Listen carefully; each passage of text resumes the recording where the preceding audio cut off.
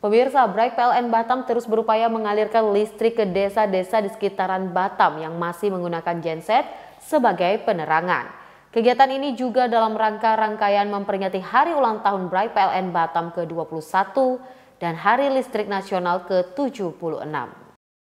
Tentang masuknya listrik dari BRIK ini PLN Batam ya.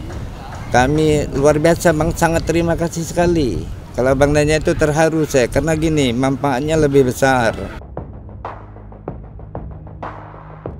Bertepatan dengan perayaan HUT Bright PLN Batam ke-21, sebanyak 21 pelanggan desa Kalat Kampung Melayu mendapat hadiah pemasangan baru secara gratis, tidak dipungut biaya pemasangan, tanpa uang jaminan langganan, dan bahkan instalasi pelanggan disediakan oleh Bright PLN Batam. Mayoritas mata pencaharian warga di sini 98% pariwisata. Pariwisata. Pariwisata. Dua persennya uh, barulah uh, ini ada yang di pertanian, kemudian ada beberapa orang aja ini apa nih pegawai negeri.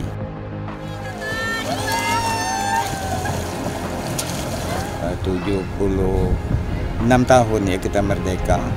Ya kami pakai inilah gengset-gengset kecil uh, sesuai kemampuan masing-masing walaupun itu uh, terbatas sekali terutama untuk kegiatan anak-anak belajar kemudian uh, tentang ekonomi masyarakat umpama ada uh, ini kegiatan rumah tangga yang bisa menghasilkan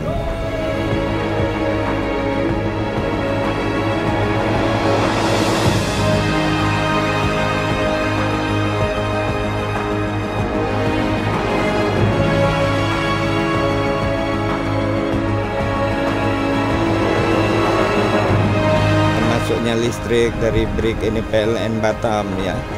Kami luar biasa Bang sangat terima kasih sekali. Kalau Bang nanya itu terharu saya karena gini manfaatnya lebih besar. Rencananya hingga 31 Desember 2021 nanti terdapat 12 lokasi dusun di sekitar wilayah Batam, Rempang, dan Galang yang akan dialiri listrik oleh Bright PLN Batam.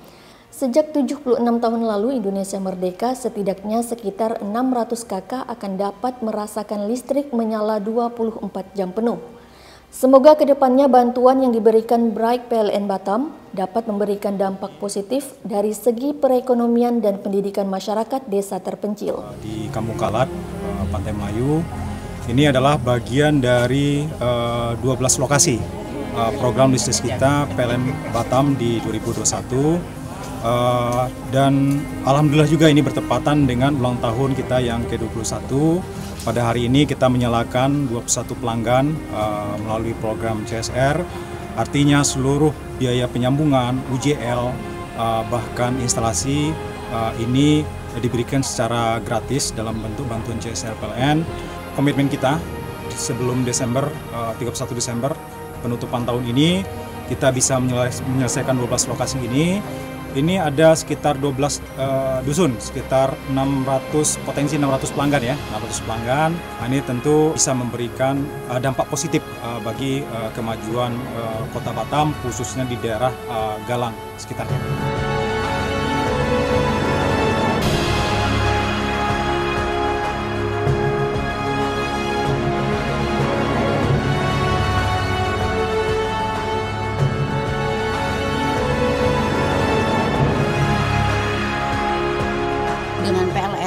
Yang terutama sekali yaitu bagian ekonomi pada masyarakat ya.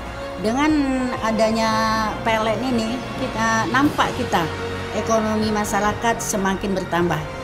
Eh, dan kedua pendidikan. Pendidikan itu apabila anak-anak kita maju tentu ekonomi mereka juga semakin bertambah. Kami juga ingin seperti orang di kota Batam sana yang tinggal di sana ya bisa menikmati penerangan 24 jam seperti itu Pak.